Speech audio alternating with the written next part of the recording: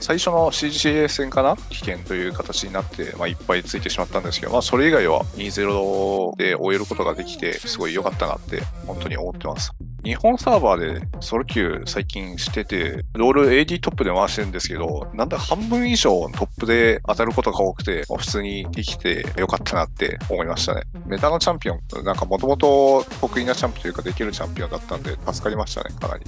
そうですね、やっぱりレギュラーシーズン、まあ、最初のフェンデル戦を負けてしまったのはちょっと悔しかったんですけど、春よりはだいぶ夏シーズンの方がすごい調子が上がってきてて、自分自身のパフォーマンスもそうですし、やっぱチームとしてのコミュニケーション面だったりとか、戦術面でやっぱ春より良かったので、だいぶ良かったレギュラーシーズンだったかなと思います。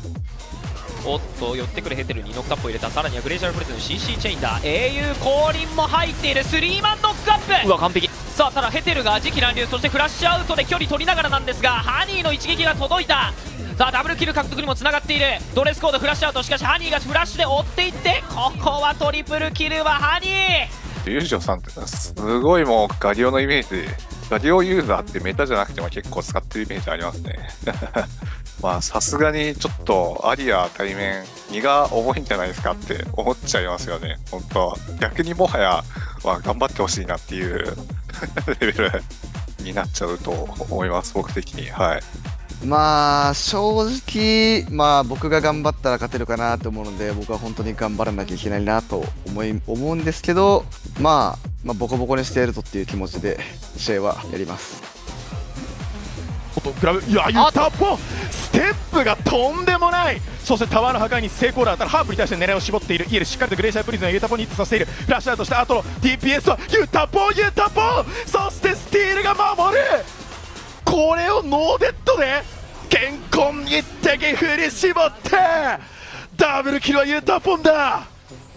僕の中ではやっぱゆたぽん選手はやっぱりもう LGL の中でのもうレジェンド、まあ、韓国でいうフェイカー選手だったりとかそういった存在だなって本当に思っててすごいリスペクトもありますしやっぱ見ててあこの人がやっぱ LGL 界には必要だなって思う選手だと思うんですけどそうだとしてもやっぱ自分としては超えていかなきゃいけない壁だと思っているので、まあ、ここで超えていけたらいいなと思います。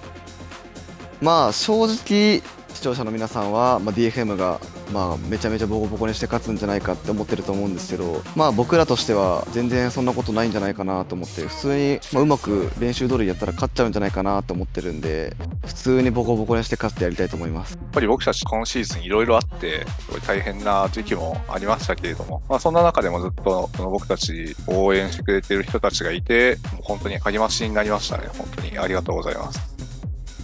今回もね、LJL 優勝して、まあ、今度こそ、まあ MSID に関してはすごい不甲斐ない結果になっちゃったんで、まあ、WCS で結果を残して応援してくれた方々にお返しじゃないですけれども、まあ、いい結果を見せれたなと思ってます。まあ、このプレーオフ初戦で DFM に勝って、まあ、幕張メッセで優勝してワールドに行くのは俺たちなんで、まあ、それを次の試合で証明します。まあ、まず BO52 回かな勝ってファイナル幕張メッセまで行ってそこでも勝つんでぜひ来てください。皆さんよろしくお願いします。